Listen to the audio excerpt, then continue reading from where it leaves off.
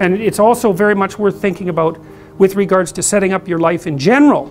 It's like if you concentrate solely on your career, you can get a long way in your career. And I would say that that's a strategy that a minority of men preferentially do. That, that's all they do. They work like 70, 80 hours a week. They go flat out on their career. They're staking everything on the small probability of exceptional status in a narrow domain. But it's, it's hard on them. They don't have a life. It's very difficult for them to have a family. They don't know how to take any leisure activity, like they get very one-dimensional. Now, it may be that that unidimensionality is the price you have to pay to be exceptional at one thing, right? Because if you're going to be something like a genius level mathematician, and you want to do that for, or a scientist say, it's like you're in your lab, you're in your lab all the time, you're working 70 hours a week or 80 hours a week, you're smart, you're dedicated, you're unidimensional, and that's how you get to beat all the other people who are doing that. It's the only way. But the problem is you don't get a life. Now, if you love being a scientist and you have that kind of focus of mind, well, first of all, you're a rare person, and second, you're going to pay for it. But fine, more power to you. But, but, it's a it's a risky business to do that. You sacrifice a lot for it. You know, and I would say most often, if you're speaking about having a healthy life, that isn't what you do. You spread yourself out more. So, you know, you have a family, you have some things that you do outside of work that are meaningful to you and useful. You, you have a network of friends. Um, well, that, that, those three things alone are, four things alone are plenty to keep you well oriented. And then if one of those things collapses, you know, everything doesn't go.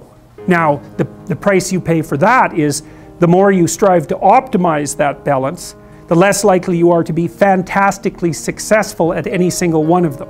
But you might have a very, you know, if you con consider your life as a whole, that might be a winning strategy. One of the things Carl Jung said, I really liked this. He thought that men went after perfection and women went after wholeness. So they're different, they're different value, they're, they're different, there's something different at the top of the value hierarchy.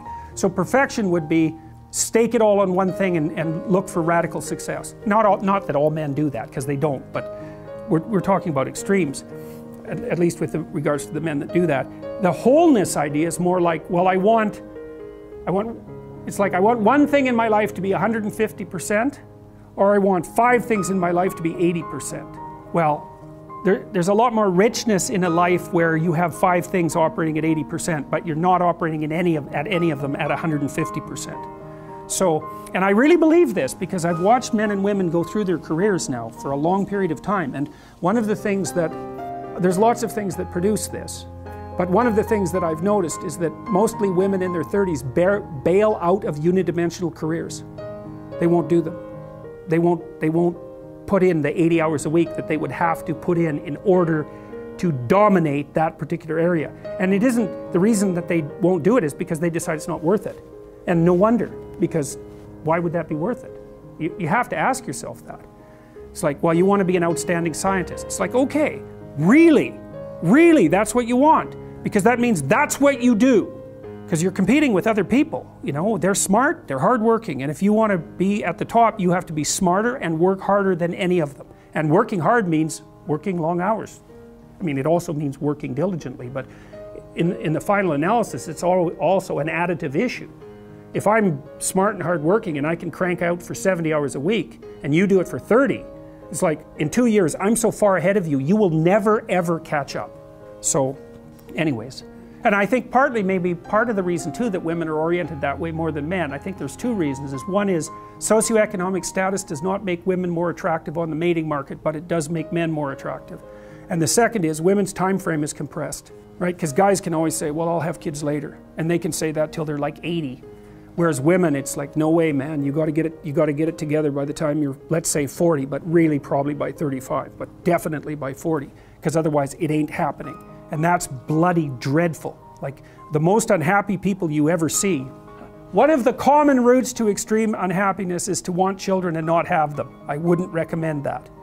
You know, you see couples who are in their 30s. One couple in three over the age of 30 has fertility problems. That's defined as uh, inability to conceive after one year of trying. One in three.